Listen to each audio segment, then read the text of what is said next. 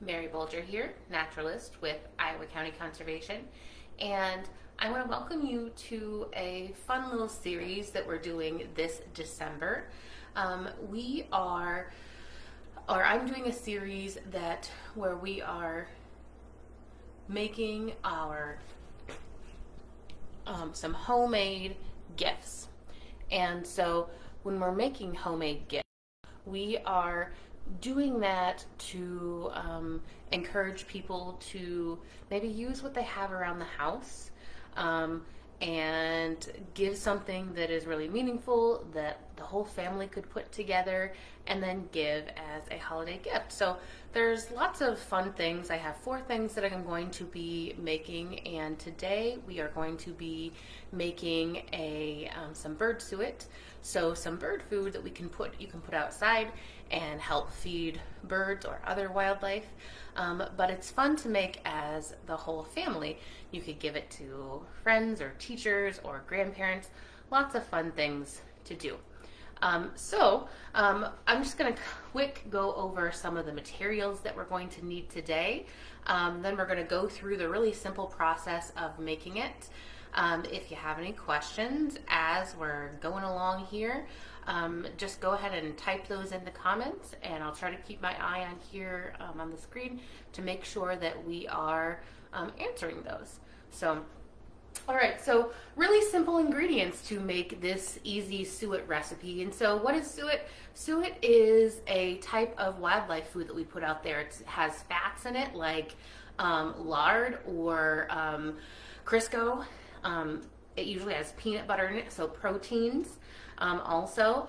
And then grains, today we're going to be putting oatmeal in, and then it has birdseed. Um, so there are lots of suet recipes out there. This one is made of probably stuff you have around the kitchen right now, so that's why we're using it. It's really easy. Um, kids can help you with it too and make some fun suet for um, wildlife watching or gift giving or anything like that. So let's go quick through the materials that we need and then I am going to um, make it with you guys today. So first thing in our recipe, our ingredients, we're going to be using some peanut butter. So a cup of peanut butter, a cup of Crisco here. So those are our fats and protein. Then we're going to use a cup of cornmeal. And we're going to be using two cups of oatmeal or rolled oats and two cups of uh, bird seed. Now you can use any kind of bird seed that you would like. Um, I'm using black oil sunflower seed today, um, but depending on what birds you have around your home or on neighborhood, you can use those as well. Um, so now you're going to need a stove or a hot plate um, with a pan for melting because we're going to be doing that really quickly.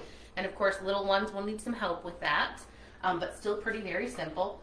You're gonna need some spoons, like a big wooden spoon or a metal spoon for stirring and getting it out of the pan and mixing things together. Measuring cups. Um, so we're using in cup increments, a half cup or a full cup is fine. And then you're gonna need some containers to put your suet mixture in because it is going to have to have some sort of mold or, um, and then it's gonna need to be chilled. So lots of different options. Again, you can use whatever you have around the house. So you can see right here that I have a muffin tin. Um, you probably have one of those. And so one thing that people do is they actually take these little muffin liners, they line them up, and you fill those with the, and those fit perfectly if you already have a suet feeder or someone has a suet feeder. They work great. You could use any size cup. So I have some plastic um, cups here, as well as some paper cups. And so we'll fill these um, and Another really fun um, thing that we're going to do as well is you can use cookie cutters. So I have some holiday cookie cutters right here. This is a star shape, and we're going to be using this to um, kind of mold into a shape. And with some of these, we're going to put strings through so we can then, um, they can be hung in on branches or on trees or shrubs, whatever you would like to um, do. So, um, let's go ahead and get started. Um, and I will post this recipe um, in the comments afterward. So you can have this recipe. So no need to um, go back and listen and, and, write it down. Um, and So we're going to go ahead and melt our two um, fats and protein together. So we're taking our cup of peanut butter, and you can use either chunky peanut butter or not chunky peanut butter. Um, whatever you have around the house or would like. Those the chunky peanut butter with the extra bits of um, of peanut are provide a little bit more energy, but any kind is fine to use. So what you want to do with this is you want to put your um, cup of peanut butter and your cup of Crisco I'm using today, your other fat, and you want to put it in the a small saucepan. Now you only want to have it on about medium heat because you don't want it to boil. You just want these things to melt together and as you're um, as you're melting them, it'll happen pretty quickly. My peanut butter is already going. I just had my um, my stovetop up a little bit but when we started. So when you are melting these together, again, you don't want to boil it, so just on medium heat. And these are pretty soft um, fats, so they will melt pretty quickly. And so as you're doing it, you can just stir this. Now, if you're doing this with little ones, this step is probably um, something that you want to handle.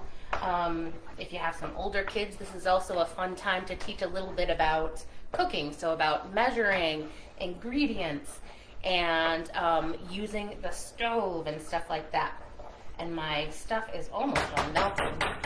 So I have a couple of spoons here because sometimes it gets a little bit stuck in the spoon. So I'm going to use it to kind of clean it off here. The peanut butter usually melts first and then the um, Crisco or the other fat comes after. Now, why do you ask, do we need these things in the suet? Well, during the winter time, it is cold out there. And so when it comes to birds and the energy they need, we do have birds that stick around for the entire winter, like cardinals and woodpeckers, chickadees, um, dark-eyed juncos, all kinds of things, blue jays. And so they need lots of energy. If you already have bird feeders outside your house, you probably know this. And so you give them a necessary um, place to come and find food especially when it's very cold. We have a lot of snow cover and a lot of ice cover. It's hard for them to find food. Um, so putting out suet is a great thing in the wintertime because it gives them more energy and it gives them a little bit extra um, from that those fats and the proteins and things. All right, so my peanut butter and my Crisco are melted together, so I'm going to turn it off and I'm going to take it off the heat. So I'm just going to bring it over here. I have a towel set aside and put it on that towel. Again, if you're having little ones help you, you may need to do this part. And the next thing that we're going to do is mix the cup of cornmeal in here. And you're going to mix that cup of cornmeal, mix it in really well. And so that cornmeal is combined. It's gonna get, it's gonna be really liquidy at this point, but it'll start to get a little bit thicker. Next, you're gonna add both your two cups of oatmeal and your two cups of birdseed. By the time you are done stirring all of these things in, it's gonna be pretty thick. I got the oatmeal in right now, still pretty thin. At this point, if you've ever made no-bake cookies, that's what it looks like. You're, you're adding lots of oatmeal and things like that. So I usually add one cup at a time give it some good stirs here. And there's one cup of bird seed and another cup of bird seed. And so by the time you are finished, it is going to be about the consistency of your no-bake cookies, maybe a little bit thicker but still very easily easy to scoop out and to put into your molds, whatever you're going to be using. So I am going to kind of show you a little picture of what it looks like. I'll bring it up close to the camera here so you can see the consistency.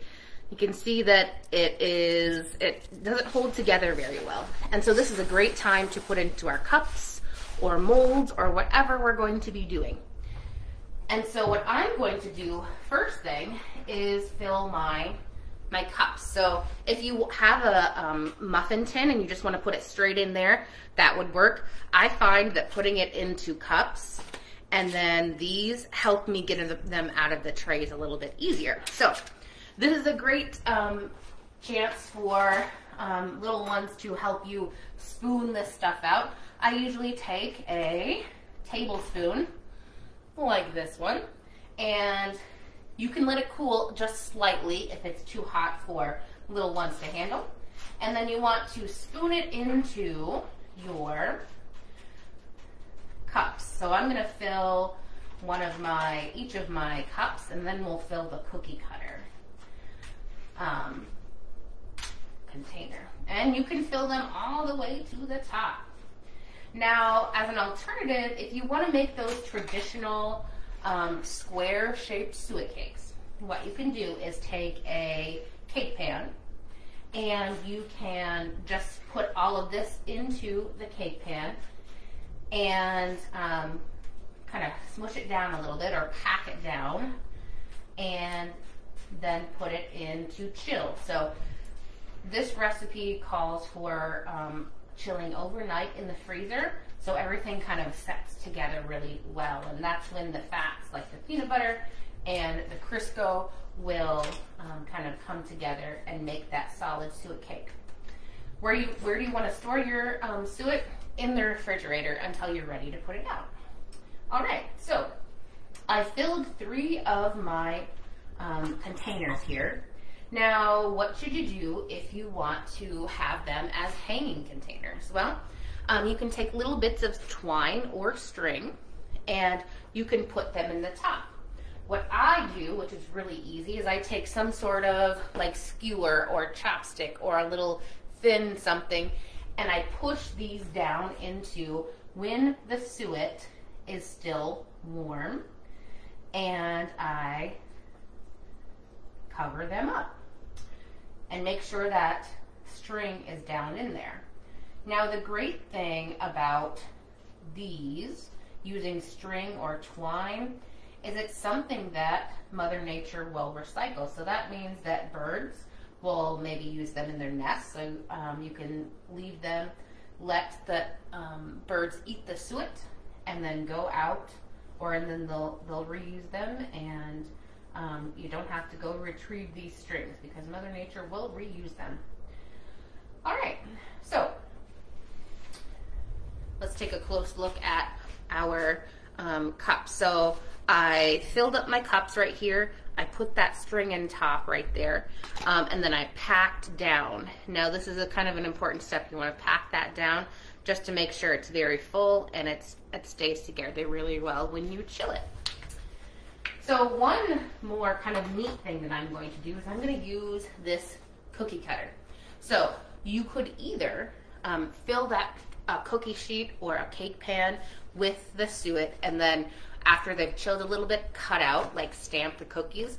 But I found if you have cookie cutters like this that are just kind of uh, sides and no top, it works best if you fill these cookie cutters. You take your, I'm going to take my skewer and make a, um, a hole for a um, string to go through because these particular ones, you can either hang them or you can make them into um, a cookie um, and put them in that regular kind of squarish. They will fit pretty nicely. And in fact, most cookie cutters are small enough to do that. So with these ones, I like to fill them all the way to the top and make a nice big suet cake. And then I'm going to take my skewer here and I'm going to pick a spot and I'm going to make a hole right now. So I don't have to. It's a little bit harder after they've cooled. And so then I'll just stick this whole thing right into the freezer or the refrigerator and it will um, harden into the mold shape that I want. And then when it's done, I can carefully take it out and you'll have a shape um, for your suet. So, um, so that's our basic kind of fun suet making. Again, it's a really fun activity for um, whole families, for little ones to do.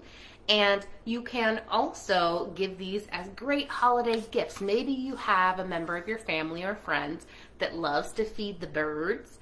Um, this is a great thing to make for them to give as holiday gifts.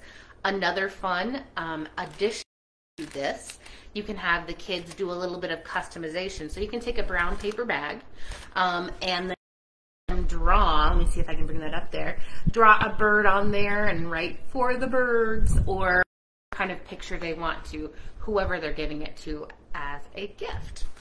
Um, so I'm going to put a couple of resources in the comments of this post for you. So I'll put uh, the recipe for this suet here. Um, I will also put um, a really great um, informational guide about different kinds of bird seed and what kinds of birds like them. So this is a list of our common backyard birds or feeder birds that we see. And some of them are really specific in what they like to eat. So if you want to attract a certain kind of bird, let's say you want to attract cardinals to your feeder, those beautiful cardinals, then you should probably put out black oil sunflower. Um, so I'll put those out for, um, put those in the comments this um, document here so you can use that. I'm also going to share a link of a really neat resource that was made by the um, 4-H um, University of Illinois um, Council and they actually have this really neat bird bingo. So let's say you want to learn more and go view some birds outside. Um, this is a really neat document that you can actually pull up on your phone and it has pictures of all of our common birds that we have here in both Iowa and Illinois. And you can click on them, you can listen to their sound and learn more about them. So great resource that I'll put a link for in the comments as well. All right, well, I want to thank you for watching and for joining me today. If you have any questions about suet making or what to feed the birds during this time of year, um, go ahead and put those in the comments. I'll keep an eye on the comments for, for a while here and answer those if they come up. Um, and thank you very much. Make sure you join us. We have three more homemade um, gifts virtual in our virtual series here. Um, next time we are going to be making um, homemade Play-Doh, um, something that the kids will definitely enjoy and then play with for long after that.